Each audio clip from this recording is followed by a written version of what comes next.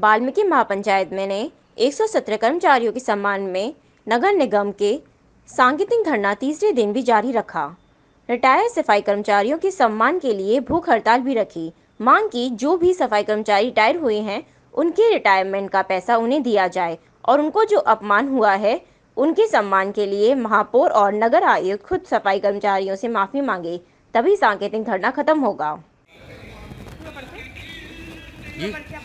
मेरा नाम वीर वाल्मीकि जिला वाल्मीकि सभा का अध्यक्ष। वीर जी आज दूसरा दिन है आप भूख हड़ताल बैठे हुए हैं क्या कहना चाहते हैं? हम ये कहना चाहते हैं कि कल से दूसरा दिन है हमारा भूख हड़ताल पे कोई भी अधिकारी हमसे पूछने नहीं आया। और जब तक नहीं पूछो कोई दिक्कत मगर हम हमारा आंदोलन जारी रहेगा। गौरव जी आज दूसरा दिन है आपने सांकेतिक भूख हड़ताल का क्या कहना चाहते हैं? अभी तक निगम के लोगों के अधिकारी पर जू पड़ी कि नहीं पड़ी? देखिए हम लोग तो पहले ही कह चुके हैं कि अधिकारियों ने हमारे दिलों पर बड़ी ठेस पहुंचाई हुई है।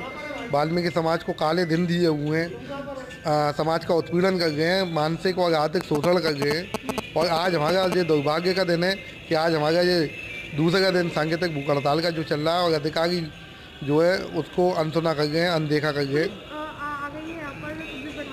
देखिए हम संघर्षकारी लोग हैं। हमें पुलिस से और इससे क्या लेना देना? संविधान के अनुरूप ही हम सारी चीज़ें करते हैं। बाबा साहब ने हमें संविधान दिया है और कानून जो है वो सबके लिए। पहली चीज़ तो ये कि किसी संविधान में नहीं लिखा हुआ है ये। देखिए, वाल्मीकि समाज और सफ़ाई कर्मचारी ना किसी से डगा ना कभी किसी से डरेगा।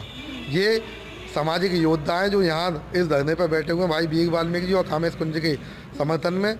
और हम लोग तब तक नहीं उठेंगे जब तक हमारी माताओं, बहनों का और बड़े बुज़ुर्गों का जो सेवानिवृत्त का भुगतान है, वो नहीं हो जाता। है